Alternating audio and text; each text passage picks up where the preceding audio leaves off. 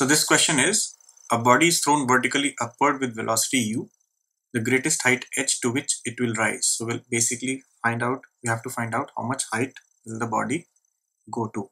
So in such questions, it's very uh, good practice to draw a diagram. So let's say this is the ground level and the body is being thrown up and it goes up to let's say this height. Okay, so initially the body was here. Initially the body was here. And then finally let's say uh, the body reached this point. Okay, so let's say this is the height h which it attains. Okay. Let's say this is my datum line and this is my positive y direction. Okay. So if the body is going up so in this case displacement is given as positive h.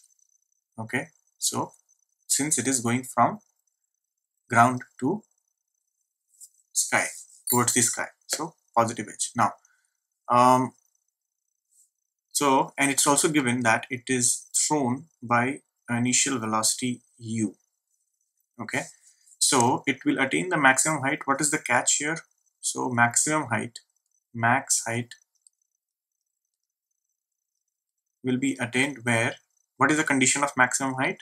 The maximum height will be where the final velocity final velocity v is equal to 0 v equals to 0 now so we know that v equals to 0 u is given as u and we have to find out h. Now let's write down all the three equations of motion. So first equation of motion was v is equal to u plus a t 2 is s is equal to ut plus half a t square.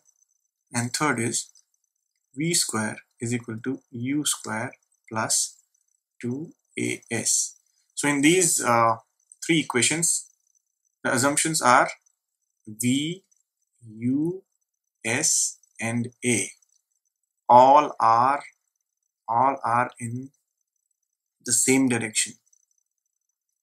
Same direction. If one of them is in the reverse direction or opposite direction the sign of that uh, quantity will be changing. So in this case u was towards the sky so positive. H is towards the sky so positive. V is zero so doesn't matter. What is acceleration in this case? So acceleration is nothing but acceleration due to gravity which is g and it is downward. So the, the sign which we'll be using while calculating will be negative g. Now the value of g is 9.8 meter per second square which is roughly 10 meter per second square. Though we will not be using the value here but just for the sake of information. Now so obviously there is no mention of t so we can very well use this equation third one third one why? Because there is mention of a we know s we know uh, u right? So uh, basically we have to find out s. Now so using the third equation so using using equation 3 we get v square is equal to u square minus 2gs why? Because g is uh, having a direction which is opposite to all v u and s. So hence negative. And uh, uh, we have considered uh, positive direction towards the sky. Now so now let's deploy the value. So 0 meter per second is equal to u square.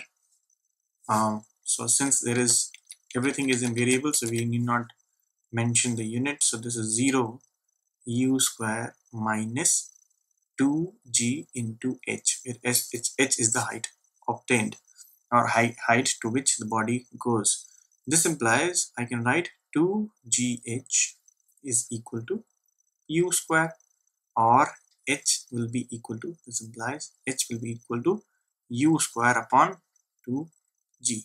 So this is the final answer which happens to be option B.